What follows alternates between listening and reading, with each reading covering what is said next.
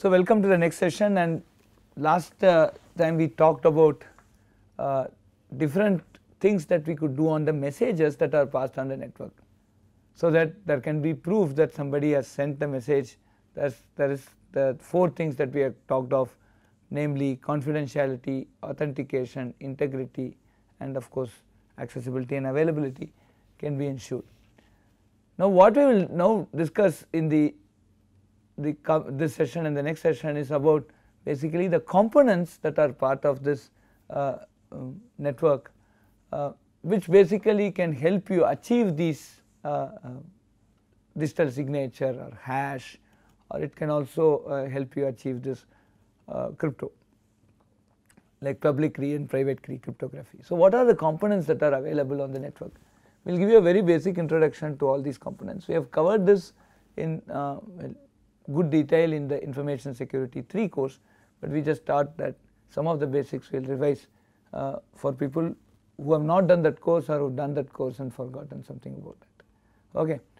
Now first thing is the firewall. What is a firewall? Firewall as we see as the name suggests is something which will isolate an organization's internal network from the larger uh, internet and you can put rules on the firewall by which it can say it will allow you to pass certain packets and it will ask, ask you to stop certain packets right. So as you see on the screen the, there is a public internet and then there is this firewall that you have seen and there is an administered network and what the role of the firewall is to allow certain packets from the public internet to flow out, flow into the administered network and something about the administered network to go back to the public internet. So I can control both ways using putting rules on this firewall. The challenge is firewall is like a dam. You can it, it, you can very easy to purchase and put it. But the most important thing is how do you configure it? Right? That is how you pour water into the dam. So you have to pour it with correct good water. Now how do you how do you configure the rules? Right? That is the major challenge today.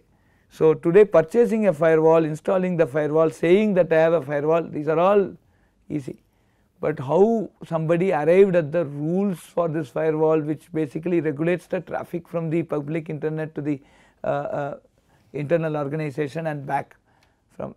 So how what are the rationale behind those rules these are some things that need to be audited. So somebody does a vulnerability assessment uh, or penetration testing of your uh, uh, IT infrastructure. The thing is that you should not just say oh there is a firewall yes firewall is present yes tick 1 and then okay some patches of this are all installed they have the latest uh, operating system etc tick 2 so these are all does not make any sense. They should actually go and audit the rules that are part of this firewall and that makes the audit uh, more effective and that is what we call as audit right. So, so that is something which if you are a CISO undergoing this course and somebody comes and does a VAPT for you please ensure that this is done. Why do you need firewalls? Lot of reasons. So at least 4 reasons that we will uh, come out here. One is denial of service. What is denial of service?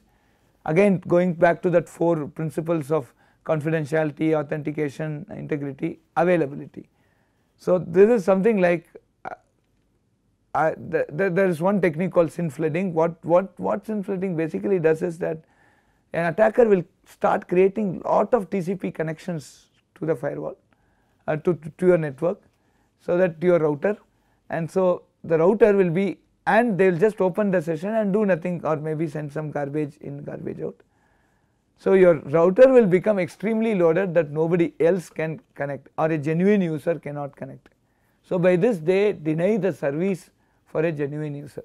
The genuine user can be a Bob who is sending and you are the Alice and, to, and they want to communicate but you have sent so many extra messages, you have inserted so many messages so that the genuine user cannot communicate. This is called denial of service. SYN flooding is a, a, a technique that can be uh, this not a technique it's, it's, it's basically a method by which uh, uh, denial of service could be uh, actually affected on a system. And the next thing is that uh, a firewall can can stop this type of thing. So if it sees uh, many TCP connections coming then it can cut certain things it can see to it that your router which is beyond that firewall is not affected by this uh, unwarranted un non un, uh, unwarranted connections. The second thing is that the firewall can also prevent illegal modification slash access of internal data. For example, somebody the attacker uh, comes and it say for example replaces the government department's homepage with something else. This is this is really a very uh, bad thing to happen. So a firewall can actually stop that from happening. The third thing is it can allow only authorized access to inside network. So nobody else can come just like that you can put a firewall saying only these these these people can come into the network others cannot come. So I could authenticate at a user level. So can a single firewall achieve all these things? Not necessarily. So there are see we have talked about some connections being dropped that is at the communication level. We have also said the next thing is that some web application could not be up, uh, modified or right. So this the and some user person can be allowed to log in somebody else. So we may try to safeguard, we may try to attack, we may try to monitor uh, the traffic at the network level or we can also try to monitor the traffic at an application level right and both are necessary we have seen even within this slide we are seeing the necessity for both. So this basically ensures that the uh, firewall is classified into two parts. One part is the application level firewall which will take care of all the application related access controls that you want to put. Application related means this particular web application, this particular uh, you know application inside uh, that you are hosting it, these applications should be touched only by these, these, these people. So like that type of things that you can use. So that is application level file. Other thing is that network level basically packet filtering right. So many these packets come these are not necessary these are unwarranted this they are trying to attack the system stop them right. So, so the firewall can be used for uh, can, can be of two types uh, one is to handle at a networking level and that basically packet filtering another is to handle at a application level. So application firewalls exist network level firewalls also exist and both are different. Now let us see what, what do you mean by packet filtering.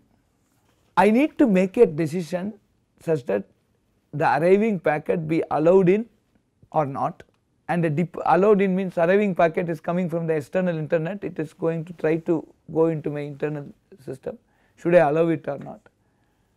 And the other, other way is that can a departing packet that is going out should I allow it to go or not right. Both are important see from an external packet I could get a trojan or a worm or a virus or a malware inside.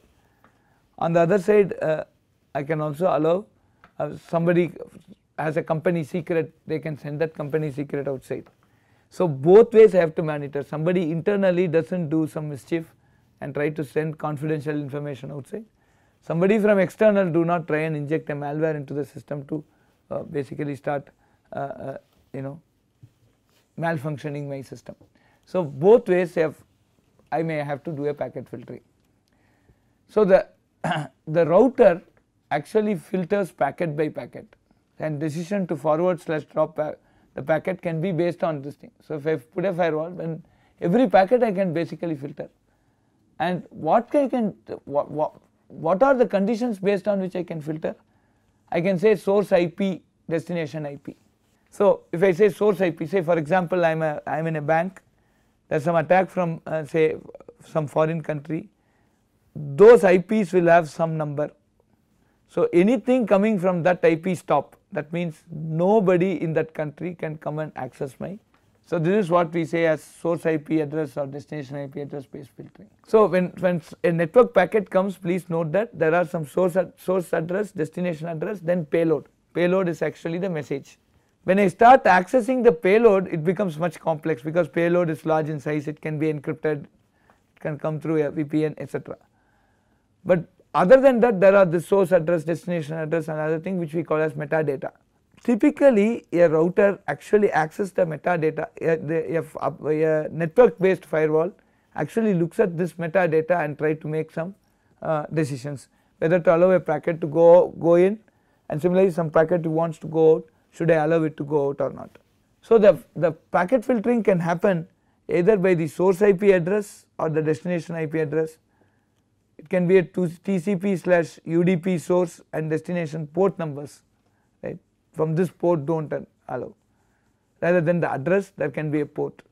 A port is nothing but one that gives you a particular service. I do not want to give telnet service or something so block telnet. So if somebody irrespective of which source or address or destination IP address if he wants to access that port stop it and it can be ICMP message type or it can be a TCP SYN and acknowledge bits based on these things the, the, the router can basically stop a packet from going in or stop a packet from going out and this is what we call as packet filtering. So these are all some examples of packet filtering. Example 1 block incoming and outgoing datagrams with IP protocol field equal to 17 and with either source or destination field port equal to 23. So that means all incoming and outgoing UDP flows and telnet connections are blocked. The IP protocol field 17 essentially means UDP and source or destination port equal 23 means telnet. So these are blocked or vice versa. The example 2 is block inbound TCP segments with ACK equal to 0. This is what it will prevent external clients from making TCP connections with internal clients but allows internal clients to connect out. So from external I can't make a TCP connection to internal but so these are some simple rules that you can put and basically protect your network from doing things. These things you do not want whatever I put in red I do not want there is a way by which I can capture it at the crux at the at the edge of my uh, organization with the internet at that edge I put this firewall put these rules and see that this does not. Now let us look at application gateway. What are application gateways? They actually filter packets on application data as well as they can do on IP, TCP, UDP fields. So application gateway or firewall at application level can also serve as a packet filtering thing. So let us look at the setup here. So I say allow select internal users to telnet outside. In the previous case I said no uh, telnet outside or no telnet inside right. So suppose I say if I do a packet based filtering I say no telnet outside. But now I can say it is no telnet outside except for some, some of the users. So how do I achieve this? This is how. So, so these are the three steps that we need to ensure. First I need an application gateway. The application gateway realizes that this is a telnet application and it will require all the telnet users to telnet through that gateway only. So if I want to telnet to outside I have to use that gateway only and for all authorized users the gateway sets up telnet connections to the destination host. The gateway relays data between these two connections. So this becomes like a postmaster which postman which basically takes data from here and give it there and vice versa. And the router filter the filter in that router blocks all telnet connections not originating from. So this is set up here as you see here. So you have an application gateway there you have a host to gateway telnet session and the gateway to remote host telnet session and you basically have a router and filter. So, so the router filter blocks all telnet connections not originating from the gateway. So by this what happens is the gateway basically uh, disables at, at an application basically at the telnet level uh, telnet as an application it basically stops any user who is not uh, who is not authorized by your rules from telnetting outside right. So, so this is what we call as an application gateway and that is different from a packet filtering gateway. So let us very quickly look at uh, the limitations of firewalls and gateways. First thing is that it relies on what you get as a metadata. For instance, it cannot stop you from say IP spoofing. Spoofing means somebody says somebody makes that destination address or sorry the source address or something and sends me right. Somebody is attacking the the the institution or say some country that some that country has some IP address. This firewall cannot ensure whether that IP address is correct or not. Somebody can put some other IP address and still send me. I believe on what that IP address is. So if I want to stop something from say some some country X that but people in that country X can himself send uh, and I, that I do based on the IP address. People in that same country X can send with some IP address Y and your firewall will think it is not from X, it is from Y. So that is one thing.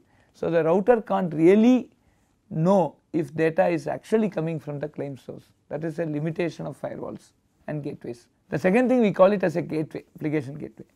If multiple apps applications need special treatment each has to have its own application gateway right that is another thing and if the client software must know how to contact the gateway that is must set IP address of proxy in web browser right. So, I have to go through that gateway otherwise I can't even go out like what we saw in this telnet thing right. So, so I have to I have to go through that gateway and the gateway has to authenticate if something does not come from that gateway I cannot basically move forward okay.